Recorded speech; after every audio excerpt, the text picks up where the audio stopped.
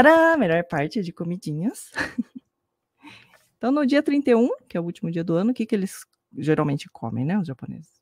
Tem um famoso soba, que é chamado de toshikoshi soba. Né? O soba que atravessa o ano. Soba de atravessar o ano. É. Aí... É. Então, soba é aquele macarrão né, de trigo sarraceno, não sei o nome disso, mas é, sarraceno. É, é uma, esse macarrão, é, é, esse macarrão. Ele é meio integral, né? É, hum. Né, ele tem fios bem compridinhos assim, muitas vezes fininhos, um pouquinho mais grossos, né? Sim. Mas a gente come eles inteiros assim, para hum. representar a longevidade, para você vir bastante Muito tempo. Bom. É, come ele. Não vai quebrar o macarrão que nem eu faço. Às vezes eu pode. Não eu pode. vou fazer. Eu crack, crack, quebro tudo, meu é. namorado fica bravo.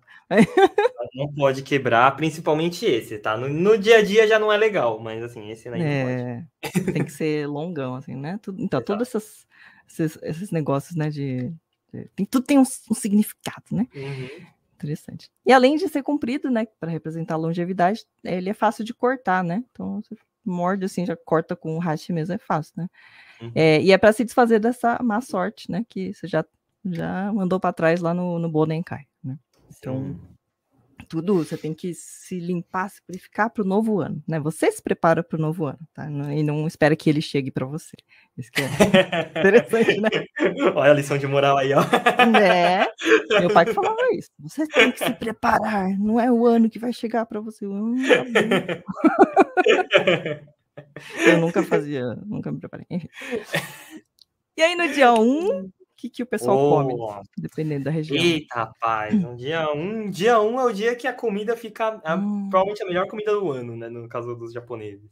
Hum. Que é quando hum. tem o osetiryori, né? No caso, que aí é a, é a comida ali do, do ano novo não sei agora, porque o Toshikoshi também, de certa forma, é comida de ano novo, mas assim, sim, você tirou ali, sim. ele vem depois, já no dia 1 mesmo. Dia 1, né? é. Já vem no dia 1 mesmo. E aí, a gente tem vários tipos de comida, né?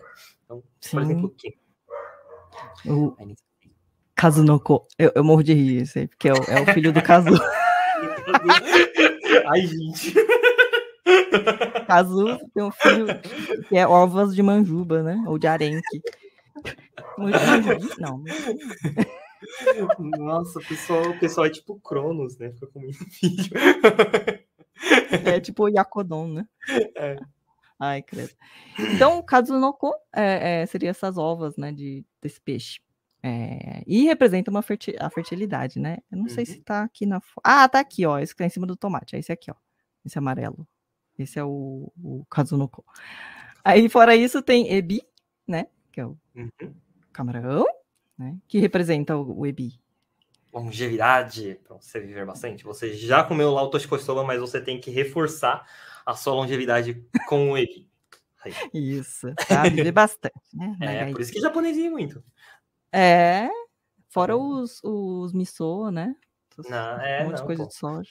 Comida, comida saudável durante o ano inteiro, não.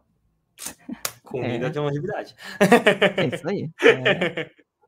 E fora isso, eles comem o gobo, né? Muito famoso, famoso que é a raiz de bardana.